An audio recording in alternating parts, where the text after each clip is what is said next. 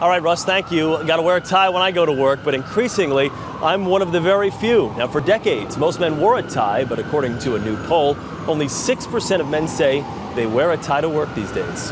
And just this month, after 60 years, the trade group representing American tie makers shut down. Joining us is Amanda Brooks, contributing ed- editor for Men's Vogue. Good morning to you. How are you? Uh, since we're doing a whole lot of singing here this morning, is this the end of the tie?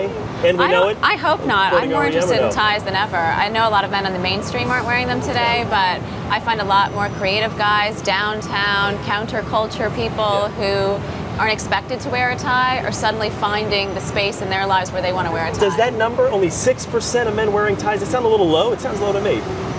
I think you don't have to wear a tie in most cases today. Barack Obama's not wearing a tie half the time. Casual Fridays has spread to casual Wednesdays and casual Mondays, and I, I do believe it. There are not a lot of men in the mainstream wearing ties. And Patrick Dempsey, the man on the cover of your magazine this month, doesn't have a tie Not on wearing a as well. tie. Let's go a little fashion show right now, and let's uh, recap some of the fashion trends in ties right now. Let's bring out our first model, who's got a knit tie on. What's the deal with the knit tie? This is a look for a guy who doesn't have to wear a tie but chooses to wear a tie. Yeah. He could be an architect, a graphic designer, and it's a more casual look. Um, it's actually inspired by a look that David Beckham wore to a film premiere.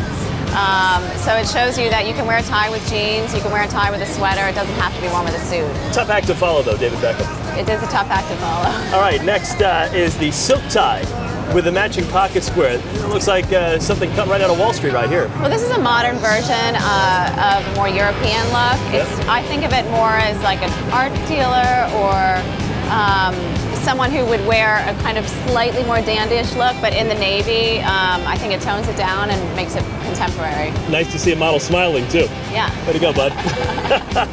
All right, the wool tie. Now, your husband's British, so this is a, a popular British look as well, correct? It is. I mean, this is more of an English kind of countryside look. My husband's actually an artist, and Yeah. he's wearing ties for the first time in the 11 years I've been with him because uh, he's not expected to wear a tie, so he finds space to. And this is more about mixing, te- mix, mixing texture.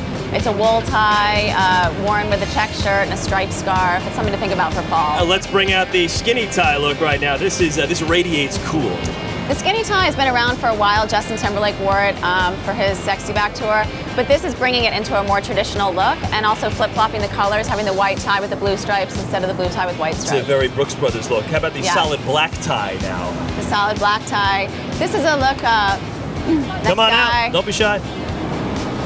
This is more of a downtown look. I can Yeah. see like film guys wearing it. Um, it's a throwback to the 50s cool look, uh, kind of a rocker look with the sneakers. Good night out look. And finally, the bow tie. Don't see this very often, but hey, well, this guy wears it pretty well. I think toning down the colors of a bow tie can look really great for an architect. Uh, not wearing it with a jacket, having more muted colors looks great. All right, Amanda Brooks, thank you very much. We appreciate it. Good to see you. Thank you.